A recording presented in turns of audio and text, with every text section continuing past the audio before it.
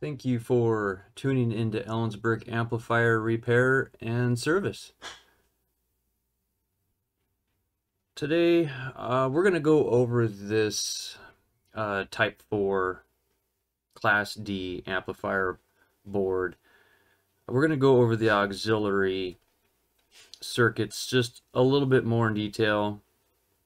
I'm going to review the drive card just a little bit more. I do have previous videos on this, but I still see a lot of questions uh, when it comes to these Type 4 boards. So hopefully I can help explain some of the circuits in these. Um, as I get questions in, I, I try to tally up the questions and make it all into one video.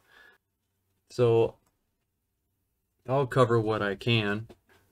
And one of the first things I'd like to point out when it comes to Class D amplifier troubleshooting is the difference between using a meter, which we're going to do today, uh, a digital multimeter, a DMM uh, that has uh, frequency capabilities, and using a scope, an oscilloscope. Um, I know a lot of people that are into amplifier repair probably can't afford things like a four channel scope um, like I use a Rigol, the DS1054Z, and I do have a Tektronix scope that I use uh, during my transistor matching. Uh, so I have a few scopes, but I'd like to point out a scope that I have had for many years now that uh, really will help in the long run when it comes to amplifier repair, and they're cheap a lot cheaper than a benchtop four channel or even a benchtop two channel scope. This is a four channel um, oscilloscope, digital oscilloscope. So sorry for the glare there. I'll fire it up here and I'll show you. Uh, so here's the screen for you. And like I said, I've had this for many years and this uh, allows you to have an isolated uh, approach to testing voltages on these amplifiers that run such high rail voltages, uh, which you can't just take your scope ground and put it anywhere on one of these boards. Uh, benchtop scope, I should say, that's that's plugged into earth main. So these isolated scopes here allow you to probe pretty much wherever you want on the board and see any signals. And this is the uh, the DS203 uh, digital oscilloscope. I just wanted to uh, point that out to you guys that you can get really inexpensive scopes that'll help you troubleshoot these boards. Uh, so I'm just going to do a quick overview of the Class D board of these Type 4 amplifiers. So we are going to have a LM319 at the top, a TL072, a 74 HC02, and another 74 HC02.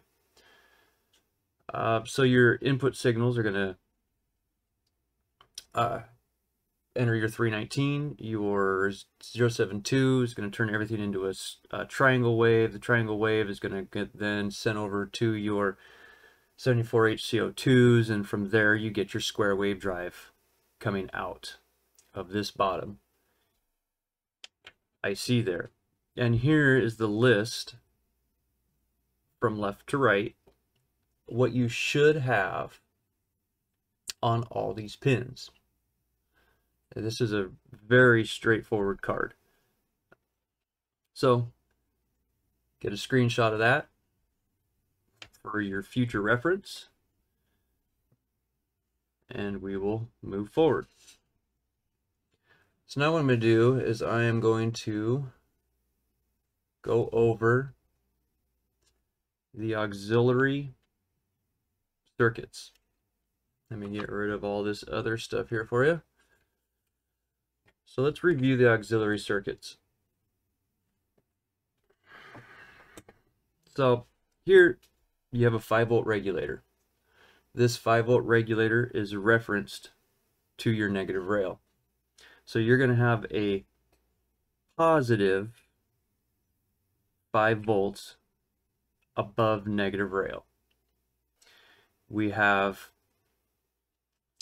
a discrete diode here referenced to negative rail, which is going to give you a, you'll see a negative 11.7, uh, I do believe, volts here. I've already covered this in a previous video. It's still labeled on the board here. This is your power supply over current protection. And then up here you have two more discrete diodes. And these are referenced to the battery negative terminal. So these diodes go back to windings on the one of the two transformers. This winding goes back to T, I'm going to call it T1, your left side transformer, which that is going to the negative battery terminal. So as that transformer is swinging positive and negative, you're going to see a positive and negative square wave on the back side of these diodes. Which is the same for this diode here, reference to the negative rail.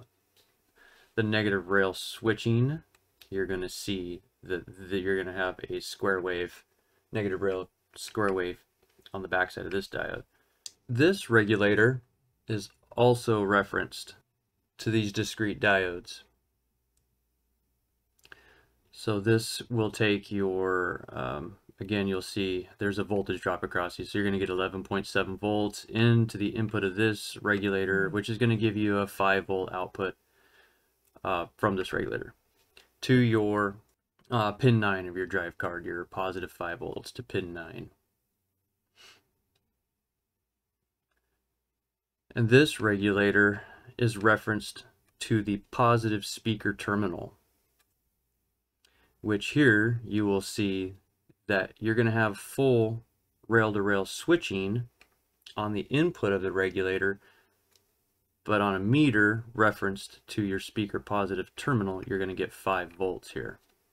So what I'll do is I will go ahead and start this board up here for you and I'm going to use my UNI-T, my UT61E meter.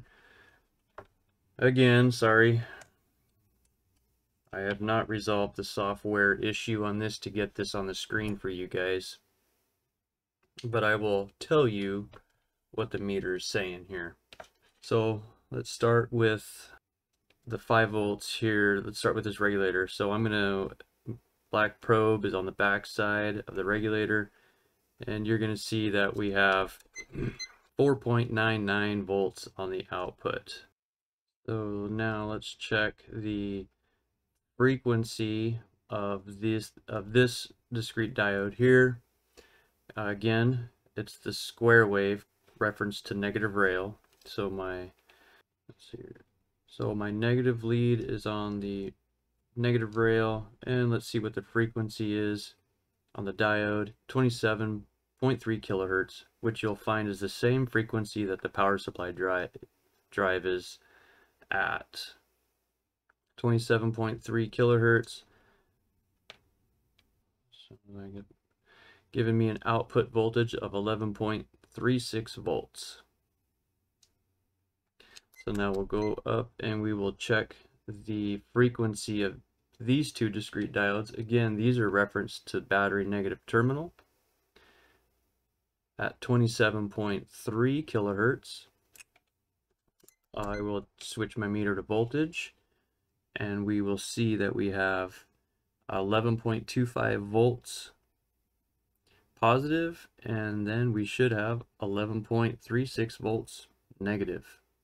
So here's your positive and negative 12 volts and then one side does go over to your 5 volt regulator, your positive 11.25 volts goes to your 5 volt regulator, which then has an output, again reference to battery negative terminal of 4.98 volts. So now we have another discrete diode that's in front of that, which is pulsed from the positive rail at a frequency of 27.3 kilohertz. Again, it's the same frequency that the power supply drive is driven at. And then I will take my negative probe here, which is referenced to the positive rail. And switch my meter to voltage, and my output voltage on that diode is 11.37 volts, 11.38. So now this voltage regulator is referenced to the speaker positive terminal which that is going to be the frequency at which you're switching your output. So now what I'll do is I will show you those numbers using the oscilloscope. So you will see in the upper left hand corner there, we'll just go over these again.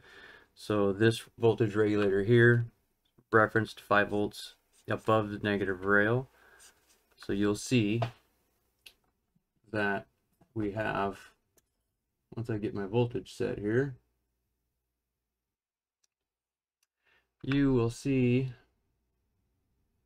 that you're going to find that you have 5 volts. Let's see, uh, so 62.5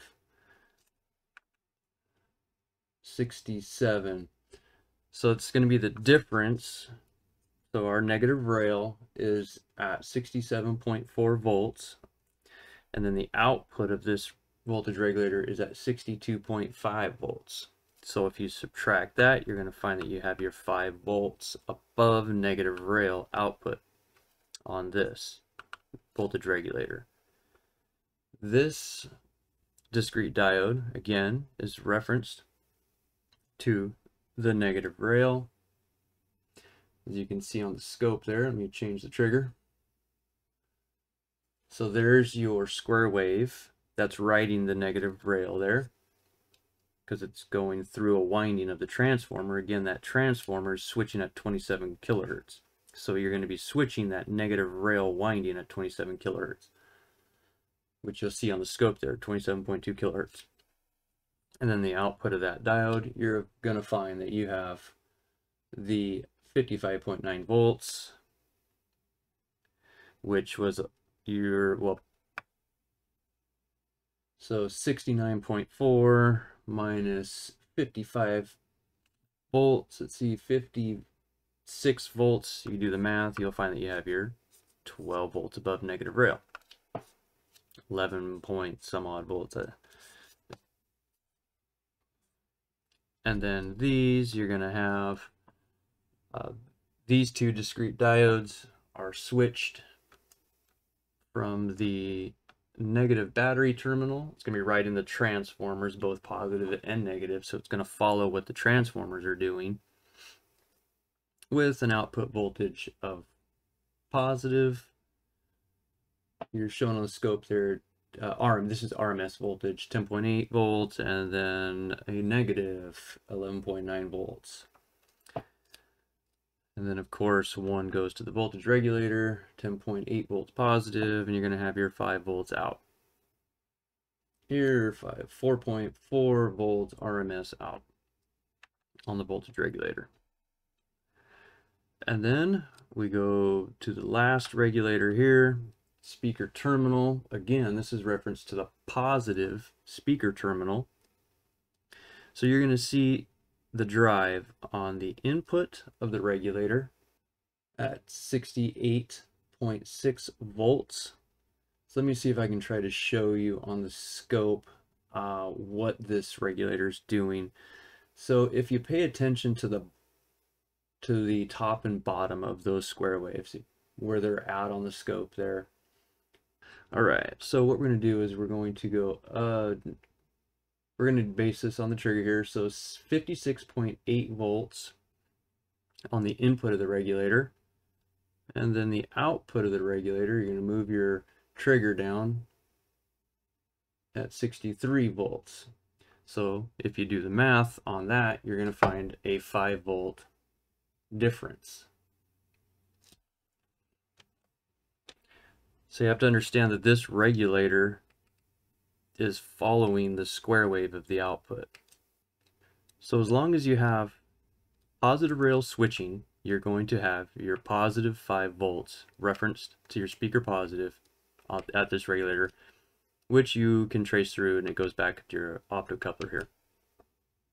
As long as you have negative rail, you will find that you have 5 volts above negative rail on the negative rail regulator. As long as you have transformer switching, you're going to have your square wave, negative rail square wave at this discrete diode.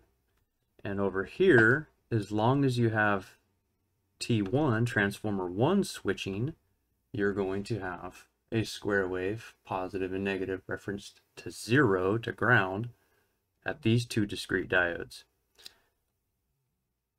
So remember that this diode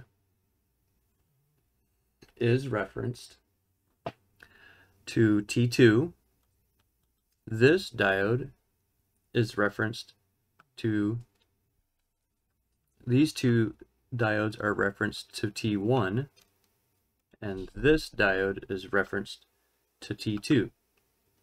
So you have to make sure that you have proper switching on both transformers to have the proper auxiliary voltages at these three regulators and these three sets of discrete diodes.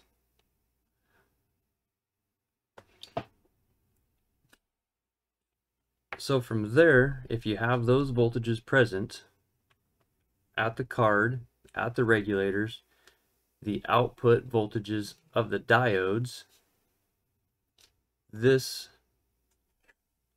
Class D card should function as intended.